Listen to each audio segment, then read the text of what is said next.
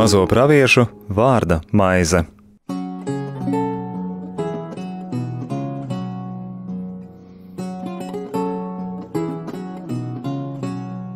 Lai ir slavēts Jēzus Kristus. mūžīgi mūžos slavēts Studijā Stela un Anģela. mēs šodien turpināsim lasīt pravieša Amosa grāmatas otro nodaļu.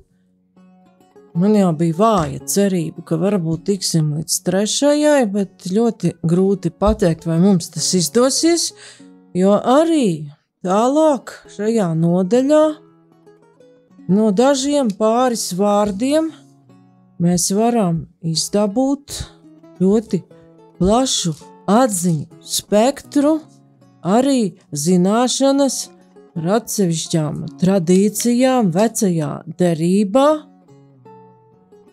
un atkal skatīties, kā tās sabalsojas ar jaunās derības atziņām. Pēc tam redzēsim, pētot šo grāmatu tālāk, ka vairs netiek pieminēts sots pagānu tautām. Ar sodu pagānu tautām Amos laimīgi ir ticis galā jau pirmajā nodaļā. Vairāk viņš tās nepiemin, bet viņš ļoti izvērsti runā par šo spriedumu Izrēlim. Viņš detalizēti tālākajās nodaļās runā par vainu. Tad vaina vienmēr izraisa sodu, nevis tā kā reizēm no apzinīgi vecāki saka, Dievs tevi sodīs. Pirms jāzina, par ko tevi sodīs, un kā dažkārt mūsu arhibīskaps saka, ka viņam šis izteikums Dievs sodīs īsti nepatīk, jo Dievs nesoda, viņš ļauj ciest cilvēkam sekas par to, ja cilvēks ir pats izvēlējies, ka atkāpsies no dieva likuma, ir izvēlējies šo likumu ignorēt un neievērot. Tad dieva sodam ir konkrēts cēlonis, un tā ir cilvēka izvēle ignorēt dieva dotos noteikumus laimīgai dzīvei. Iepriekšējā reizē mēs jau pievērsāmies, kādus grēkus Damos pārmet. Visnotaļ plaukstošajā Izraēļa valstī, kura dzīvo traknajos gados, valda Jerabēns II, augstmaņiem viss ir skaisti, labi, viņi ir pārtikuši, bet Amos pievērsa uzmanību tam, ka apspiesti ir nabagi. Tad mēs skatījāmies, kāpēc Amos ir tik bargs, ka vecajā derībā nabagi bauda īpašu dieva aizsardzību, un grēks pret nabagu ir grēks, kas sauc uz debesīm. Tad mēs šo jautājumu par nabagiem, kas ir nabaks Bībelē, arī kāda attieksme pret viņiem nes augļus jaunajā derībā. Mēs to visu skatījāmies iepriekšējā reizē, bet šodien jau iesim tālāk. Un Amos raksta par dieva varenajiem darbiem.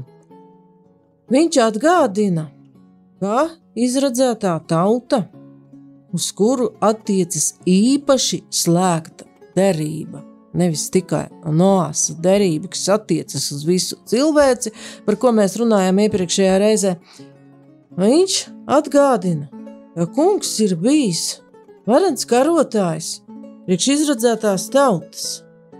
Un Amos saka, Es taču viņu acu priekšā iznīcināju amoriešus, kas bija augumā tik gari kā ciedri, un kam bija spēks un izturība kā ozoliem. Es iznīcināju augšgalā viņu augļus un apakšgalā viņu saknes. Runa ir par vienu no tautām, no kuras pat izlūk nobijās, nē, tur nevar iet iekšā, Tie ir cilvēki lieli, varani, bīstami, mēs viņus nepievarēsim. Un kungs atgādina, ko, ka viņš pats ir karojis pret šo tautu, lai izredzētā tauta varētu ieiet apsolītajā zemē. Un arī šeit vēl varu piebilst, jā, ka atkārtota likuma grāmatā mēs varam uh, lasīt Dievu vārdu, ka mm, 9. nodaļā, ka, kad kungs tavs Dievs padzīstos tavā priekšā, tad nesaki savā sirdī, manas taisnības dēļ kungs mani veda iemantot šo zemi. Kungs padzina tos tavā priekšā tādēļ, ka šī tauta bija ļauna. Paldies! Un atkārtotā likuma grāmata, kas arī ir tāds kā atkārtojums, atgādinājums, mums visu laiku noliek acu priekšā dieva varenos darbus, gan mēs paši to visu paveicām. Kārtotā likuma grāmatas astotā nodaļā mēs lasām atgādinājumu, ka Dievs ir tas, kas vedis caur tūkstnesi un ēdinājis tautu. Un ka šis pārbaudījums ir bijis, lai cilvēks atzītu, ka cilvēks nedzīvo no maizes vien, un atkārtotā likuma grāmata, kā šeit jau mēs Anģelas lasījumā dzirdējām, ka Dievs atgādina, ka Viņš ir tas, kas karo un izdzen tos. Bet trešajā nodaļā. No 8. panta un tālāk mēs varam lasīt tieši par tiem amoriešiem. Un tā mēs tajā laikā atņēmām diviem amoriešu ķēniņiem zemi, kas atradās viņpus Jordānai. No Arnonas upes līdz Hermona kalnam. Sidonieši Hermona kalnu sauc par Sirionu, bet amorieši to sauc par Senīru. Visas pilsētas līdzenumā un visu Gileādu, un visu Basanu līdz Solkai un Edrejai, pilsētas, kas atrodas Oga ķēniņa valstī Basanā. Jo vienīgi Ogs Basanas ķēniņš bija beidzamais no pāri palikušiem refajiešiem. Tiešām viņa atdusas vieta bija darināta no dzelzs, bet tā man nav amona bērnu rābā. Tā kā arī šeit ir aprakstīts šis karš ar amoriešiem, Bet Anželas lasījums paskaidroja, kādā veidā tad stipru pretinieku var uzvarēt tas vājākais. Pats Dievs par viņu cīnās. Arī šeit uh, varam lasīt atkal no atkārtota likuma grāmatas, ka Dievs arī uzrunā savu tautu, ka katram jābūt pateicīgam par to, ko dāvā Dieva žēlastība katram cilvēkam. Ja tu esi svēta tauta kungam, savam dievam, tevi kungs, tavs dievs, ir izvēlējies no visām tautām, kas uz zemes, lai tu viņam būtu īpaša tauta. Kungs jūs ir iemīlējis un izvēlējies ne tādēļ, ka jūs būtu vairāk par citām tautām, jūs esat mazākā no visām tautām, bet gan tādēļ, ka kungs jūs mīl un tur savu zvērestu, ko devis jūsu tēviem, un kurs kungs izveda jūs ar stipru roku un izpirka jūs no vergu nama, no Ēģiptes ķēniņa faraona varas, un zini, ka kungs tavs dievs ir dievs, uzticams dievs, kas uz tūkstošu paudzēm tur savu derību un žēlastību tiem, kas viņu mīl un tur viņa baušļus. Paldies!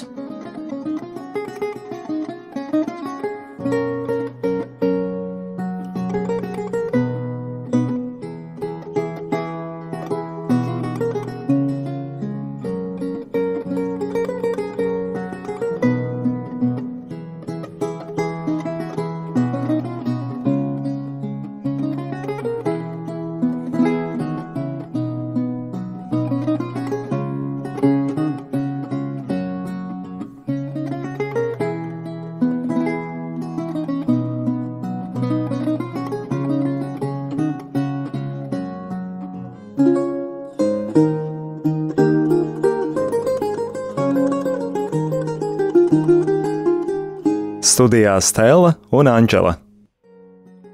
Tad Anģela nolasīja tekstu par to, kas mums pavēstīja, ka par visu esiet pateicīgi kungam, jo pateicība ir tāda lieta, kas gan toreiz, gan mūsdienās diezgan ātri aizmirsās.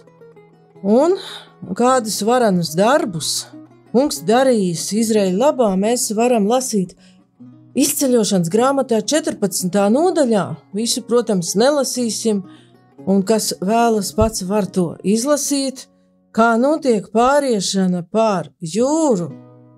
Un kungs saka, Mūzum, es nocietināšu faraona sirdi, viņš dzīsies viņiem pakaļ, un es pagodināšu sevi faraona un viņa karaspēku priekšā, lai Eģipte atzīst, ka es esmu tas kungs. Tā tad mazai cilvēku saujiņai dzenas pakaļ toreizējās lielvalsts karaspēks. Labi bruņots karaspēks, tur ir zirgi, rati, kareivji, viss iespējamais. Mūsdienās tur būtu aviācija, tanki, lielgabali un viss, ko jūs gribat. Un viņi tur faraons, kad faraona kalpu sirdis pārvērtās pret šo tautu, kāpēc mēs tā darījām, ka atlaidām izrēliešus no vergošanas mums? Un viņi neapmierināti, ka vergi iet prom un mēģina dzīties pakaļ, bet 14. nodaļas beigās mēs lasām 28. pāns, un ūdeņi atgriezās un apsēda gan ratus, gan jātniekus, visu faraona karaspēku kas bija viņiem dzinies pakaļ jūrā. No viņiem nepalika pāri neviens pats. Izraēla bērni izgāja cauri jūras vidu, sausumu, un ūdeņi tiem bija kā vaļņi, pa labi un pa kreisi. Un 31. pāns apliecina, tā Izraels redzēja lielo spēku, ko tas kungs bija parādījis pret eģiptiešiem, un tauta bija jās tā kunga un ticēja tam kungam, viņa kalpam mozumu. Bet, ja mēs lasītu 15. nodaļu, tad tur mēs varētu redzēt šo pateicības dziesmu. Toreiz Mozus un Izraela bērni dziedāja tam kungam šādu dziesmu. Tātad pateicības dziesma. Es dziedāšu tam kungam, jo viņš sevi ļoti paaugstinājis. Zirgus un viņu jātniekus viņš iegāzis jūrā, Mans spēks un mana dziesma ir tas kungs, viņš ir tas, no kā man nāk glābšana. Tad tur mēs lasām par to, par ko jau runāja Anģela, kā toreiz izglābušies no ļoti lielām briesmām, Izrēļi slavēja kungu. Un Amos par to atgādina un kā viņš raksturo tos pretiniekus. Gari kā ciedri, spēks izturība kā ozola, ciedri ļoti gari un ozols viena no cietākajām koksnēm. Bet augšgalā augļus iznīcina un apakšgalā saknes. Tas ir par kaut ko liek domāt. Tā tauta tiek samazināta gan skaitā, gan varā, un uzbrucēja tauta var arī būt kā tauta vispār iznīcināta. Un arī tur turpinājumā Āmas grāmatā mēs varam lasīt desmitajā pantā, mm. un es ņēmu jūs no Eģiptes zemes, vedu pa tūkstnesi 40 gadus, lai jūs iemantotu amoriešu zemi, un jūsu dēlus es iecēlu par praviešiem, un jūsu jaunekļus par nazīriešiem. Un arī šeit uh, vēl gribu izlasīt no atkārtota likuma grāmatas, jā, ka uh, ka mēs esam aicināti neaizmirst, neaizmirst Dievu arī savā labklājībā. Atceries visu ceļu, ko kungs tavs dievs lika tev iet visu. Tas tā nodaļa. Jā, Jā. 40 tūkstneša gadus, lai darītu tevi pazemīgu, lai pārbaudītu tevi un zinātu, kas tavā sirdī, vai tu turēsi viņa baušļus vai nē arī šeit, desmitajā pantā, kad ēdīsi līdz sātam, tad slavē kungu savu dievu par labo zemi, ko viņš tev devis. Sargies, ka neaizmirsti kungu savu dievu, neievērojams viņa baušļus, tiesas un likumus, ko es tev šodien pavēlu, kad tu ēdīsi līdz sātam, kad uzcelsi sev labus namus un dzīvosi tajos, kad vairosies tavas avis un vērša, kad tev ies daudzumā sudrabs un zelts, ka tev būs daudz visa, kas tev piederēs, neteru neturi augstu prātu un neaizmirsti kungu savu dievu, kurš tevi izveda no Ēģiptes, no vergu nama. Paldies!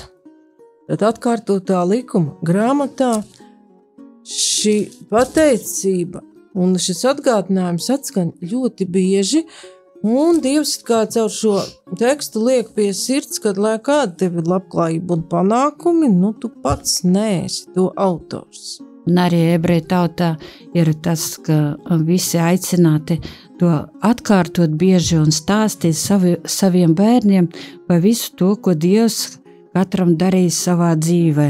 Ja, un mēs arī katrs varam uh, atcerēties un um, uh, liecināt par tām, tiem brīnumiem, kurus Dievs darīja mūsu dzīvē.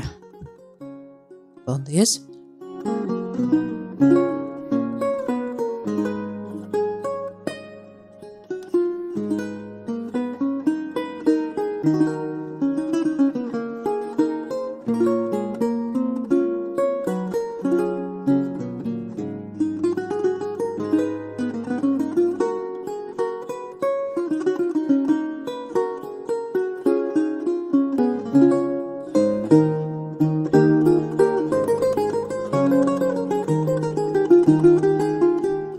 Studijā Stela un Anģela.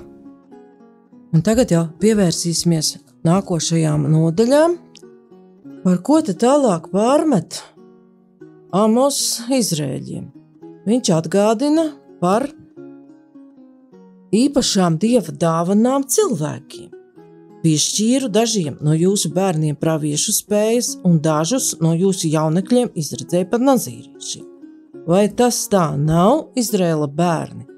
Viņš tā kā, nu, gandrīz kā filozofs Sokrāts ar šo atgādinājumu grib izredzētajai tautā, izredzētās tautas cilvēkos uzmodināt šo atmiņu par visiem tiem praviešiem, kurus Dievs viņiem ir sūtījis, un arī par šo iespēju kādu laiku būt īpaši tuvu kungam.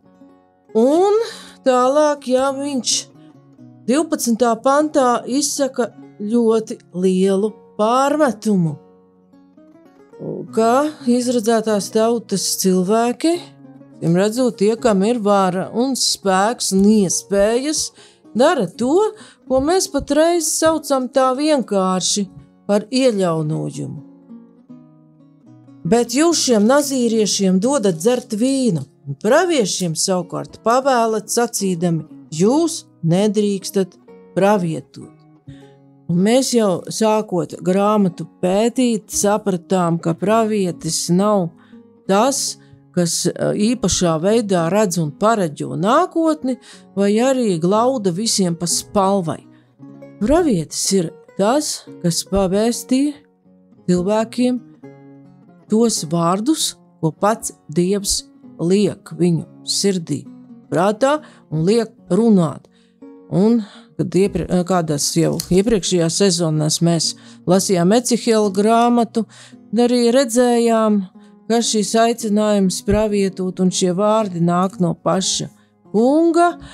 Un dažkārt viens otrs pravietis pat ir ļoti negribīgi sācis šo kunga uzdevumu, kā viens otrs pat ir gribējis likties zemē un nomirt, cits ir izteicis iebildumus, es esmu jauns un nemāku runāt un nekā nezinu.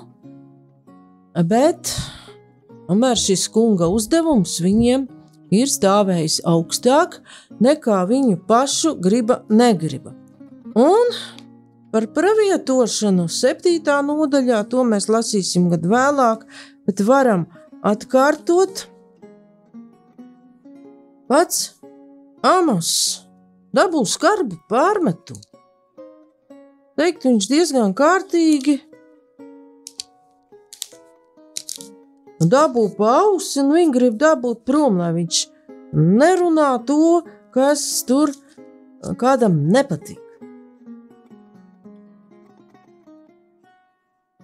Septītā nodaļā un desmitā, pa, un, uh, desmitā pantā jau Bētels priesteris amacijai ļoti neapmierināts, ka sūta ziņu Jerabjāmam, Izraēla ķēniņam un lika viņam sacīt, tātad tas Amos ir tāds kauls kaklā ar savu pravietošanu, nu, ka tam vietējiem priesterim nepatīk un jāinformē ķēniņš. Amos skūda Izraēla ļaudis uz dumpi pret tevi. Zeme vairs nevar paciest viņa vārdus. Un atcerēsimies, vai tad Amos skūdīja uz dumpi pret ķēni? Šķiet, ka ne. Viņš tikai atgādināja, kādus varas darbus šai, šī ķēniņa vadītajā valstī varanie un stiprie pastrādā pret nabagu, un kā tādā veidā tiek pārkāpta kunga derība. Un tālāk jau ir nu, ļoti vārdi. Bet tad Amacija teica Amosam, tu redzētāji celies un bēdz uz jūdas zemi, ēd tur savu maizi, un tur pravietot, bet bētelē tu ilgāk vairs nedrīksti pravietot, jo tā ir ķēniņam svēta vieta, un tur ir arī ķēniņa valsts galvenā vītne. Un tā tad šeit centrā nostājas ķēniņš un tas, ko viņš grib. Nevis tas, ko grib Dievs. Tad... Un es arī gribētu izlasīt Eh, skait, no skaitļu grāmatas pa Nazīrieti, eh, sestajā nodaļā. Kungs sacīja mūzim, runā uz Izraēla dēliem un sakitiem, gan vīrs, gan sieva, kas dod nazīriešu solījumu, lai nošķirtu sevi kungam, lai atturas no vīna un skurba dzēriena, lai nedzer ne vīna, ne skurba dzēriena etiķi, lai vispār nedzer vīnogu sulu, lai neēd ne svaigas, ne žāvētas vīnogas. Visu nošķirtības vērsta laiku, lai skuveklis nenāk par viņa galvu, iekams paiet laiks, kurā viņš nošķirts kungam, viņš lai ir svēts, lai ļauj uz savas galvu, galvas kuplot cirtām, visu laiku, kamēr viņš ir nošķirts kungam, lai viņš netuvojās mironi. Paldies! Kā šeit, un Amos gan runā par jaunekļiem, ja par vīriešiem, bet skaitļu grāmatas sestajā nodaļā mēs redzam, ka šī iespēja dot kungam tādu solījumu ir vienlīdzīga gan vīrietim, gan sievietei. Ja vīrs vai sieva apsolījušies sevišķi zvērstu kļūt par nazīrieti. Un te mēs redzam adus trīs šos solījumus - atturēties no vīna, reibinošiem dzērieniem, kad augšie galvas mati, un viņš neiet pie miroņa.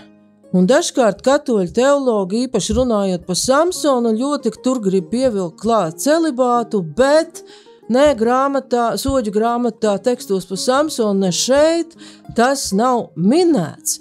Un vīrs vai sieva pat drīzāk mudina mūs domāt, ka šādu solījumu varēja dot kungam. Arī precēts vīrietis, precēta sieviete var būt pat laulāti, un ka šis solījums neizslēdz pat laulāto attiecības, un tādā veidā viņi var būt kunga tuvumā. Un krievu tulkojumā ir šī skaitļu grāmata tulkots mušķina, izženšķina, vīrietis un sieviete. Uz ko mums tas vedina? Kā tur bija? Radīšanas grāmatā un kungs radīja, kas tad ir tas viņa pilnais attēls? Un vīrieti un sievieti viņš radīja.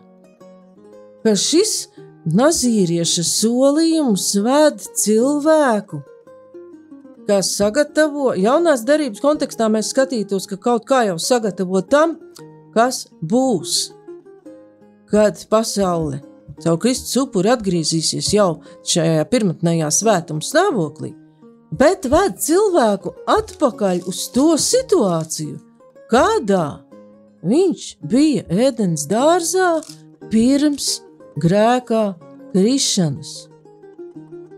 Un tur nebija ne celibāta, ne vīna, ne nešķīstas barības, un arī viroņi tur nebija. Jo nu, mūsdienās it kā ir pieņemts to vīnu, pat iekļaut kā tādu etiķetes piedarumu visādās pieņemšanās un uz galda, un dažkārt ir cilvēki, kuri ļoti baltu aci paskatīsies uz uh, cilvēku, kurš vienkārši ir izvēlējies alkoholiskos dzērienus, nelietot, nu kāda iemesla dēļ tas ir cits jautājums. Nu, kā tas ir nepiekalājīgi? nelietot un vispār kaut pie lūpas vajag piecelt. Bet šeit izrādās, ka vecajā derībā Nazīriešu solījumā tas ir saistīts ar īpašu tuvumu dievam. Tātad neapreibināties, nesašķobīt savu prātu ar kādām apreibinošām vielām. Nu, un mūsdienās tas varētu būt pat atturēšanās no dažā, daudzām dažādām lietām, kas cilvēku apreibina. Varbūt pat ieskaitot to pašu internetu. Jo kad tad radās vīns? Būtu atceries, kā tur bija to vīnu. Un ka vīns tomēr atnesa diezgan lielu tādu ieļaunojumu. Tur bija tā vēsture ar nāsu. Tas jau ir pēc grēka plūdiem, radīšanas grāmata 9. nodaļa, 20. pāns Noā sāka kopt zemi un iestādīja vīnu dārzu. Un Noā dzēra vīnu, un viņš piedzērās un gulēja kails savā teltī. Kad Hāms Kanāna tēvs redzēja savu tēlu kailumu, viņš to pateica saviem diviem brāļiem. Bet Šems un Jafets paņēma tēvu virsvalku, un abi uzlika to uz saviem pleciem un atmuguriski iegāja un apsēd savu tēva kailumu, savas sejas nogriezdami tā, ka tie savu tēva kailumu neredzēja. Kad Noā pamodās no savas kurbuma, tad viņš dabūja zināt, ko viņa jaunākais dēls tam bija nodarījis. Tātad caur vīnu Noā dievbijīgs un taisns vīrs nonāca apkaunojošā situācijā. Un arī jaunajā derībā vīna dzeršana, apreibināšanās pieder pie miesas darbiem. Piemēram, Pāvila vēstulē Galatiešiem, 5. nodaļā. Mēs no 19. panta lasām. Bet zināmi ir miesas darbi, ir netiklība, nešķīstība, izlaidība, elku kalpība, buršana, ienaidība, strīdi, nenovīdība, dusmas, ķildes, šķelšanās, ķecerība, skaudība, dzeršana, dzīrošana un tam līdzīgas lietas, par kurām es iepriekš saku, kā jau es esmu senāk sacījis, tie, kas tādas lietas dara, nemantos dieva valstību. Tā tad nāk, ka ar dzeršanu aizrāvies cilvēks, nemantos dieva valstību, un Tagad jau zinām, ka šis netikums ļoti daudzus cilvēkus ieved lielā postā. Viņi zaudē darbu, zaudē savu cilvēku cieņu, zaudē ģimeni, jo savā apreibumā viņi nav spējīgi objektīvi novērtēt savus apstākļus, īstenību par sevi un par to, kas ir apkārt un romiešiem, vēstulē romiešiem. Arī par to Pāvils runā 14. nodaļa vēstulē romiešiem, 17. pants. Jo dieva valstība nav ēšana un dzeršana, bet taisnība, miers un prieks svētajā garā. Tad nu tas, kas šīs lietās kalpo Kristum, ir dievam tīkams un cienījams cilvēku starpā. 20. pants. Neposti dieva darbu ēdienu dēļ. Viss gan ir šķīsts par sevi, bet cilvēkam, kas ēdams apgrēcinājis, tas ir par ļaunu. Tāpēc ir labāk nēst gaļu un nedzert vīnu, nedz arī ko citu darīt, kas brāli apgrēcina. Tātad, kas brāli ievelk šajā. Un, cik var saprast, Amos pārmet tieši to, ka šiem cilvēkiem, kas ir devuši tādu īpašu veltīšanās solījumu, tiek piedāvāts šis vīns, un viņi tā tiek ielā, ievilkti ne tikai savā dzeršanas grēkā, bet arī visā tajā, ko uzskaita apustulis Pāvils.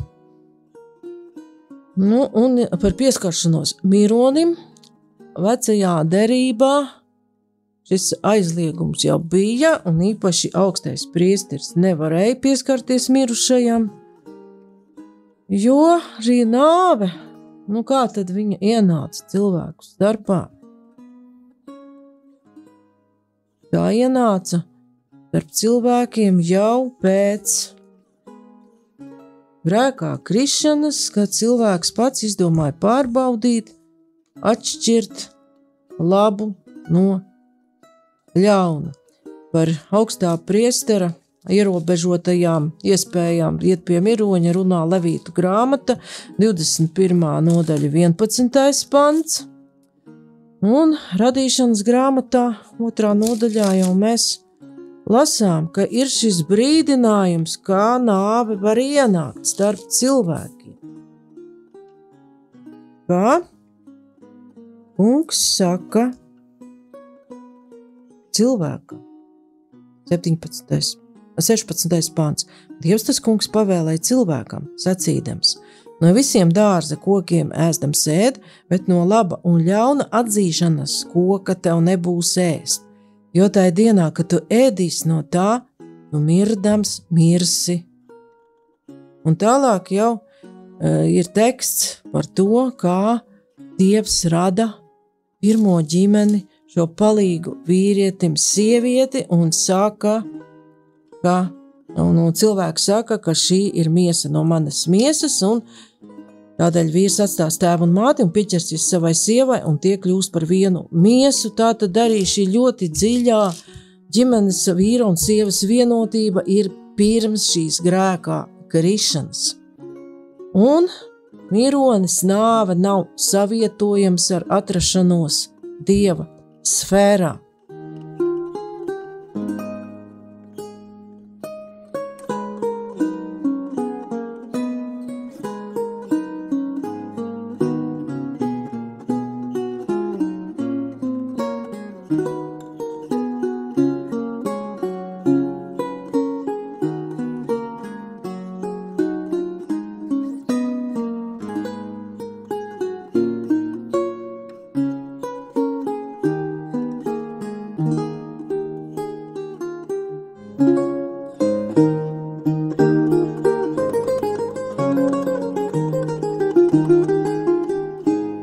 Studijā Stela un Anģela. Un kā laiks mums laikam iet uz beigām, ja es nemaldos, četras minūtes. Ja? Tātad, kas īsti ir šķīsts un nešķīsts? Aizraujoties ar vienu dzīvesveidu, dažkārt nonākam pie tāda ļoti šaura secinājuma, ka šķīstība attiecas tikai uz cilvēka no ārpus laulības sakariem vai tāda veida atturība. Taču šķīstību mēs varam saprast jau plašāk. Šķīsts ir tas, kas derīgs dievam, nešķīsts, kas ir pretrunā ar viņa likumu, viņa dabu, nav savietojams ar dieva tuvumu. Un, ja runājam par šo atrašanos un pieskaršanos mironim, nāve ar dieva tuvumu nav savienojama, jo nāve ienāca pasaulē caur cilvēka grēku. Šeit varētu mēs arī izlasīt vēl Pāvila vēstuli romiešiem.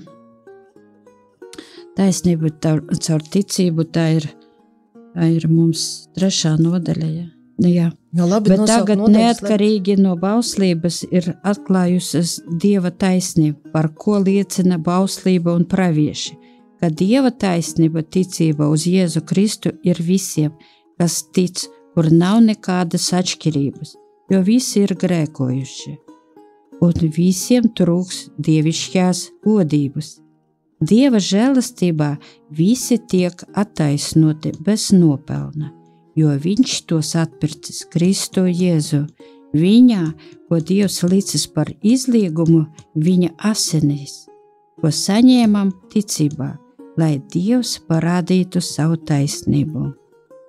Un Dievs piedod grēkus, kas darīti iepriekš devišķajās pacietībās pacietības laikā, lai parādītu savu taisnību tagadējos laikos, ka viņš pats ir taisns un attaisno to, kas tic